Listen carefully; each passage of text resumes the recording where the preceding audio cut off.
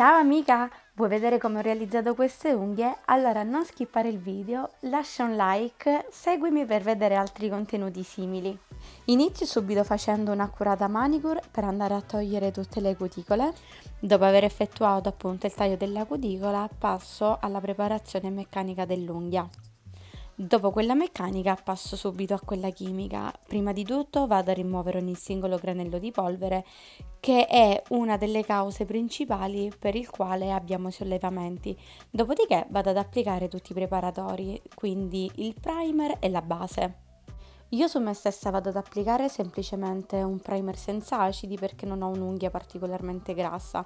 Dopodiché vado ad applicare un piccolo strato o uno strato molto sottile di base e la vado a massaggiare eh, con movimenti dall'alto verso il basso con un pennellino.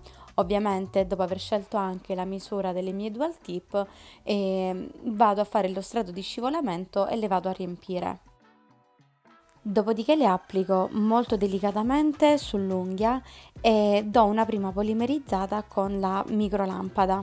Dopo aver effettuato tutti gli allungamenti, essendo una forma molto lunga, ho dato un rinforzo di bombatura, dopodiché sono andata a limare tutta la struttura e questo è il risultato finale.